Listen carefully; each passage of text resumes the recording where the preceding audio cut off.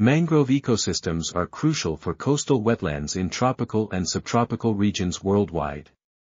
They provide various ecological and economic services such as erosion protection, water filtration, fish breeding, building material, medicinal ingredients, and tourist attraction.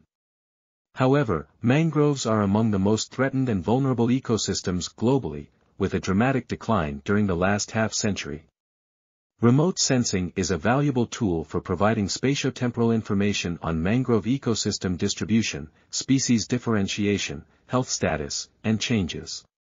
Various sensors such as aerial photography, high-resolution optical imagery, hyperspectral data, and active microwave, SAR, data can be used for remote sensing studies. These techniques have demonstrated high potential to detect, identify, map, and monitor mangrove conditions and changes. A recent review paper on the remote sensing of mangroves is needed to provide a comprehensive overview and sound summary of all the work undertaken, addressing the variety of remotely sensed data applied for mangrove ecosystem mapping, methods and techniques used for data analyses, potential, and limitations.